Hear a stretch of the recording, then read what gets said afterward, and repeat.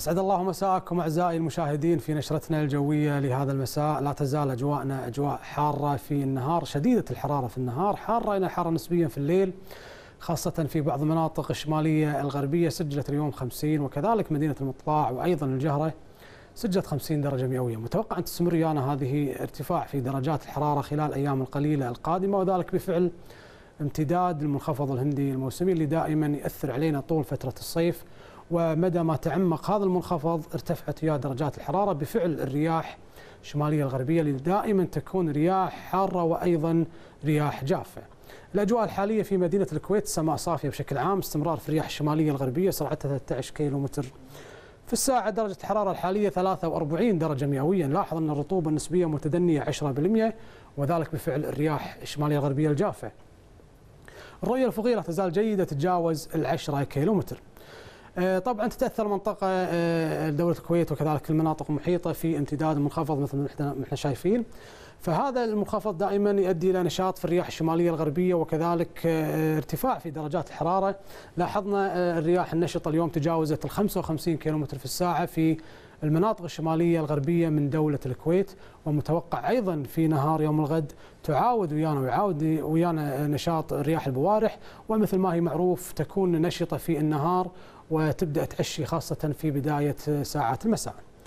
الطقس المتوقع في منتصف هذه الليلة إن شاء الله. طقس حار نسبيا. لاحظ درجات الحرارة في المناطق الغربية من دولة الكويت قد تصل إلى 34 درجة مئوية في منطقتي الشقاية والسالمي. شمالا في العبدلي 32 مدينة الكويت 37 مناطق الساحلية بشكل عام والجزر متفاوتة ما بين 35 إلى 36 درجة مئوية. الرياح راح تكون معتدلة بشكل عام في المناطق الشرقية خفيفة في المناطق الغربية. تستمر ويانا متقلبة الاتجاه إلى شمالية غربية متوقع أن تراوح سرعتها من 5 إلى 25 كم في الساعة.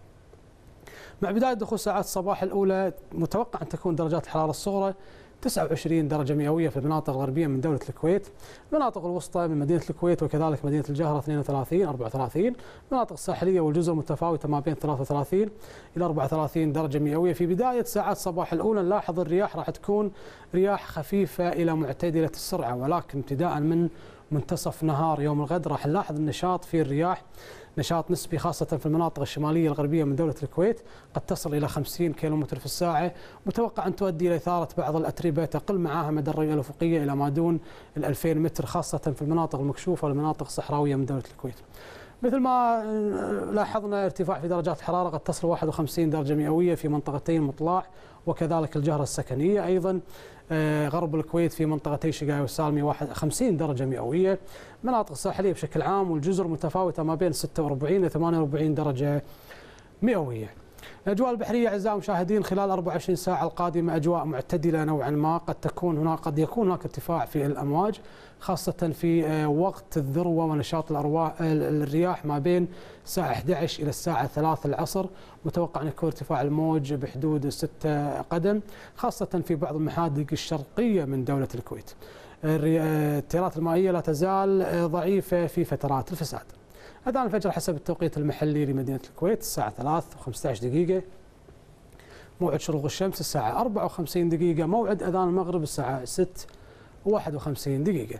بالنسبة للطقس المتوقع لمدينة الكويت خلال خمس أيام القادمة تستمر ريان الرياح النشطة. الرياح الشمالية الغربية راح تكون معتدلة نشطة على فترات.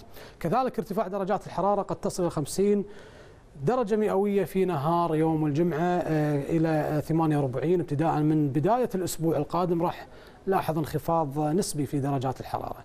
أما بالنسبة لي الطقس في المساء لا تزال أجواء حارة نسبيا على معظم مناطق البلاد متفاوت درجات الحرارة الصغرى ما بين 30 إلى 33 درجة مئوية. أعزائي المشاهدين أشكركم على حسن المتابعة والآن ناخذكم في جولة مع درجات الحرارة في بعض العواصم العربية والعالمية.